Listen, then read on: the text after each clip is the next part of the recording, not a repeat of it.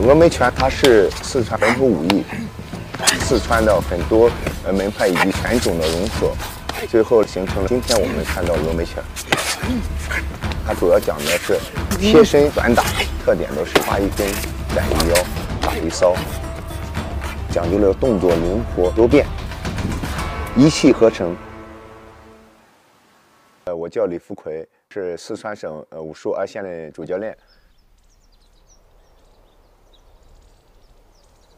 我习武有二十三年了，呃，一九九七年开始习武，两千年来了四川，进入四川专业队，到二零一七年退队，成为那个四川省青少年队主教练。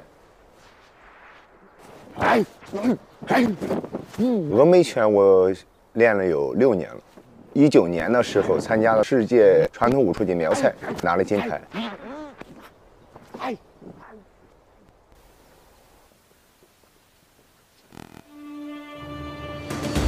关手，瞬间一个格挡，腰和手的用法，而且步伐转变，光靠手上这个力点是发不出来的。摸耳肘，手贴着耳，从下往上贴耳我摸起来，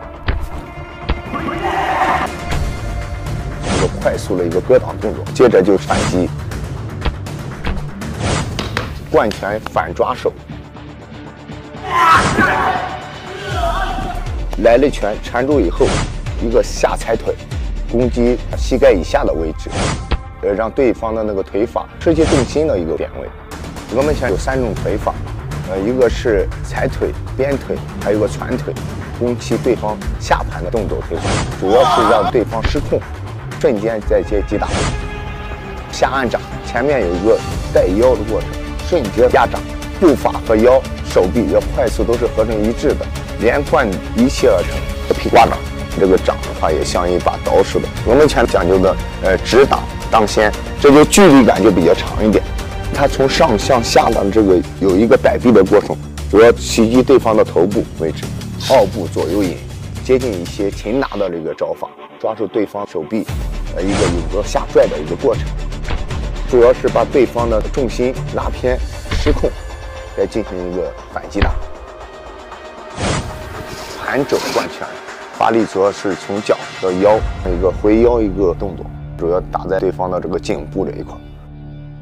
下面动作这个挑肘，步法有一个根部，主要是快速贴近对方的目标，肘尖往往上一个挑击的过程。接着是一个跪步下砸肘，这是两个动作连起的。当时刚练的时候的话，就是有一些身法跟不上，步法没办法协调一致，呃，力点也打不出来。有时候我就去找老师请教一下，练习上面的话，让他再帮我抠一下动作。老师，好，来了。每一个步法来去扣，每个拳法呃击打的位置，包括一些柔晃反复的一个练习。是个是个贯拳，啊，贯拳的时候不要打停，这是在这儿了之后，这是呢，贯，然后是一个一个松。边要练拳、练武、练功，还应该修炼自己的心性，静不下心来啊。然后呢，一定要注意就是呼吸，练武术的呼吸。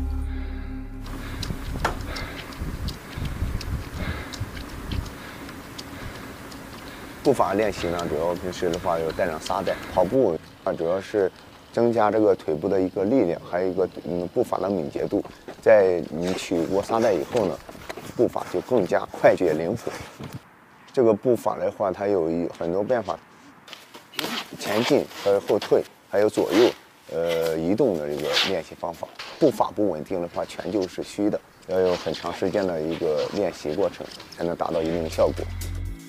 呃，腰腹练习呢，我主要是借助那个杠铃片左右的一个循环练习，反复扭腰的一个过程，增强腰部力量以及腰部的灵活性。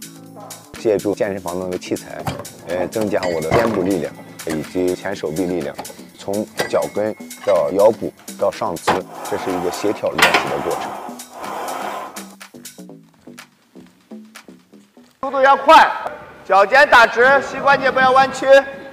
一、二、三。孩子们挺很听话，年龄段都在十三岁到十六岁之间。他们练习呢，主要是基本功、腿法一些步行。我们现在这个是半封闭式的训练管理，呃，平时基本上不回家，因为今年再加上这个疫情情况呢，他们基本上都在校园里面。平时要注意保暖啊，嗯，只有的话保暖的话，那个腰伤缓过来也快一点啊。平时洗澡时多冲一冲，加强的热敷。平时那个对他们这个身体肯定有关系。有时候我也看他们吃饭，嗯，有些小孩的话不喜欢吃肉，有不喜欢吃鸡蛋的。我们这个训练平时的话强度还是很大。如果说他不吃这些的呃高蛋白的东西，体能就跟不上。啊啊！怎么了？想家了？你妈妈过几天就就来看你了，是不是？男子汉要坚强的嘛，对不对？流血流汗不流泪就是了，那你就不能哭了哈，对不对？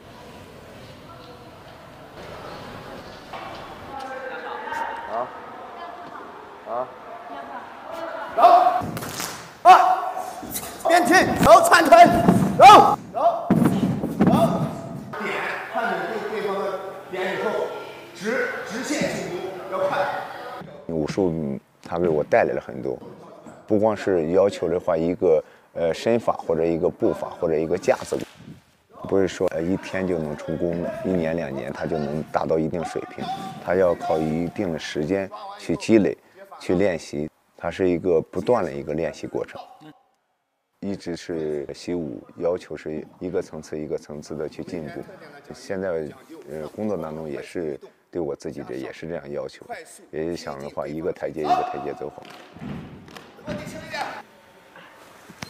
腿不能弯，弯了就不算了啊！坚持住啊！